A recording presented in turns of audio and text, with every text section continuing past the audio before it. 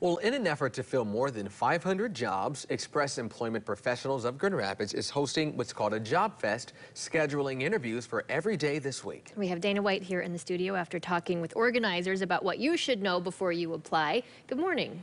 Teresa Donovan, good morning. The goal of the Grand Rapids Job Fest is to connect more people with a new job in a single week than ever before. More than 500 light industrial positions are available, jobs ranging from machine operators production workers to delivery drivers. Pay ranges from 14 to $20 an hour for each position. To sign up for an interview, you can call the number on your screen or visit the online link. You can also stop by in person at 1760 44th Street in Wyoming between 8 a.m. and 5 p.m. David Robb, the Director of Operations, says many companies have been looking to fill positions for a while, and this is a great chance to get that done.